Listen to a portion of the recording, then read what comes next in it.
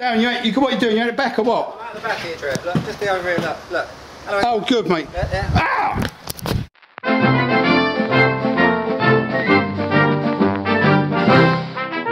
All right, mate. You okay? Why are the steps in front of the door? Yeah, well, we're, remember we're doing the house up. We're painting it and all that sort. I do apologise about that. Is my knee supposed to be bending backwards? that, well, you can claim that on insurance. I'm glad you find it funny. you can claim that on the insurance we haven't got. Okay. Um, hello, everyone, and welcome to. Hey, So, Trev. hang on, Darren, Darren. What? Painters are in. Painters, the painters are in. I think I think it's fair to say. Should we give people a heads up? Wiki that, people. Wiki it. Just just Google the painters are in and see what happens. Hang on, I can't get this on a tripod. I've got to be professional. Here we go. Look, right, now, Are we there? Are we on? We're locked and loaded. Are we on? Are we on? Locked and loaded, and it's live. Trev, it's good. To, it's good to be back, Trev. I know. It feels like ages since we were last. Well, you've been travelling. I've been busy. Yeah, I know, I know. But here we are. We're back. We're back at Beer Sweden HQ. Uh, like this, by the way, Trev. Is that your idea? No, mate, I don't like flowers You and really stuff. are actually. You like, you know, you're big and gruff and all that sort of thing. But at the heart, at the- is a beats a poet, beats an artist. Apparently, I'm not big. What was that comment the other day? Trev's little. You can put him in a bag. When I, s- Who said that? when I say big, I mean big personality. I don't mean obviously big stomach. Was, was that was that the Epi Manker who said that? Cat's just jumped into my house. It's jumped back out again. Wrong house. Oh, right, okay. Um, anyway, that's got nothing to do with what, what are we doing, Trev? Beer review, I think. Beer review, exactly. And what I want to do today, because we've been a little bit, you know, we haven't been keeping up really, have we? No, not really. in, on in, in the video. So we're gonna what we're gonna try and do is we're gonna try and catch up a little bit with some of the uh, autumn beers that have been released at the Systembolaget um, in the last few weeks. Yeah. Um, because really, you know, if you look around you now, you can see that the leaves are changing colour. It's getting a little bit colder. That's why I'm wearing a t-shirt, Trev. Um, and uh, the beers are kind of reflecting that. You'll see that a lot of the beers that are being released right now, people are drinking slightly darker, almost like I kind of think, because the poet in me thinks, Trev, uh, that as the as the colours of the leaves shift, so do the colours of my beer. So I like them to be. It's nice. Oh, dear. Huh? What do you think?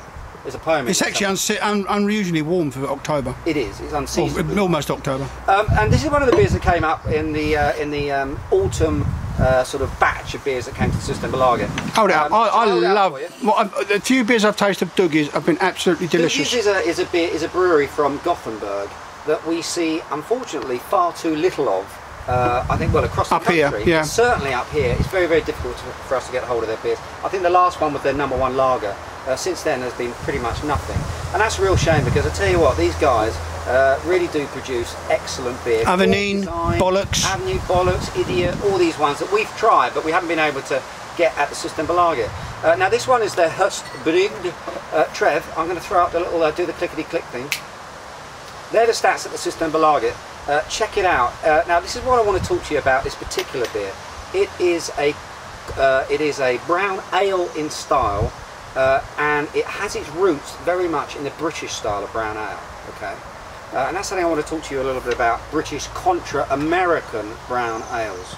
Because there's been a little bit of talk, a little bit of back chat, Trev, on the Beer Sweden forum about British styles of beer. Somebody said, control yourself here, don't get angry, he's looking at me, people, like he's already daggers.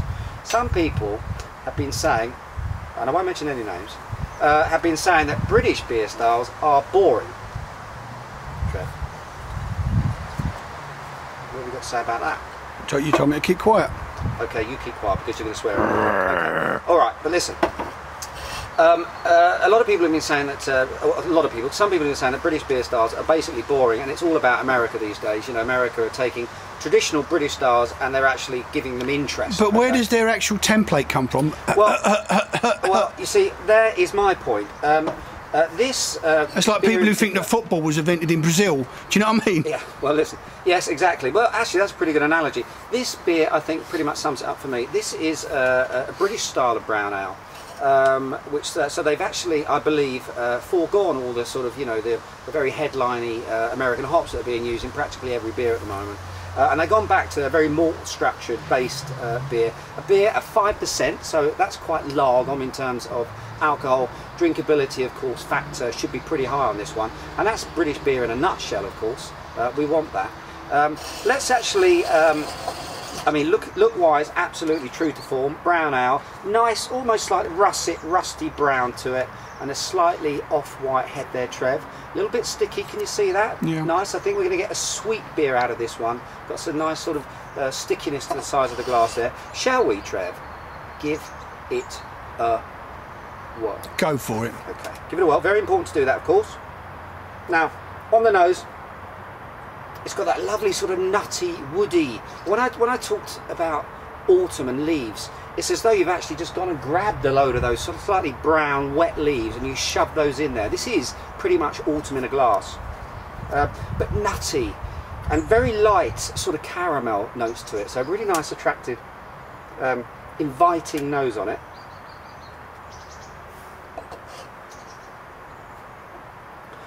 And in the mouthfeel, this is what I love about this is British style of beer, absolutely, because it's got uh, it's got quite a it's got a medium mouthfeel.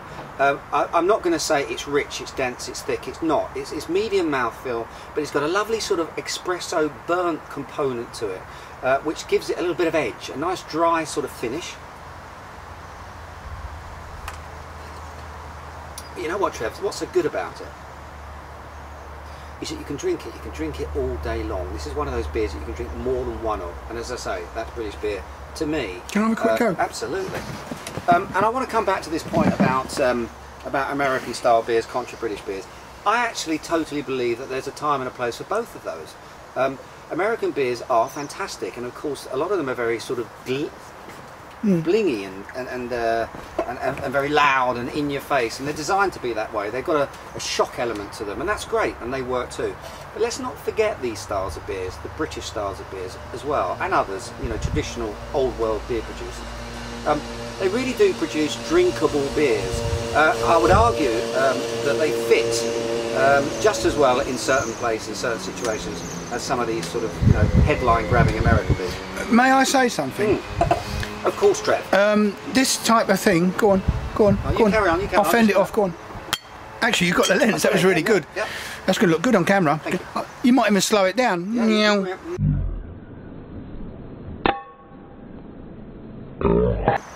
Um, without your Spitfires and, and this type of thing, like proper brown owls, I'm saying proper because it's what they were. Yes, I do understand the, the the spectacle of the new, the American stuff, and I love it. I mean, I like the I like the BrewDog stuff, like um, punk and stuff like that, which is leaning towards the American way out towards the American. But exactly as, as you say, why does that mean? I mean, if you if you decide you like a certain type of music now, does that mean you can't like the music you liked when you was younger? Exactly, exactly. And there's nothing wrong uh, with going back to those styles. Yeah. It's not untrendy and it's not uncool No, not at all. them.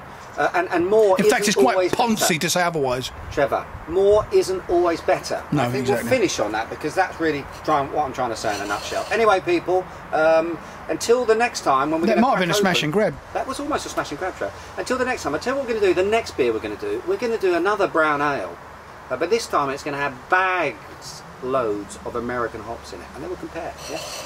Cheers and beers, everyone. You know what you've forgotten, don't you, mate? I know, I know. We're getting How so- often do you do this? Well, I don't know. Do you never learn? I'll tell you why. It's because we don't do it enough. You see, I'm beginning. To I'll tell you what, we're on. Are we on? Yeah, Uh, guess what we forgot to do, Trev? rate the flipping beer. Rate it. Okay. Um, now, I like the drinkability. I like the fact that this is a sessionable beer. Uh, it's got a lovely flavour of autumn in it. It's got that nice sort of espresso mocha burnt component to it. Uh, I'm giving it four out of five. Nice one. Nice one.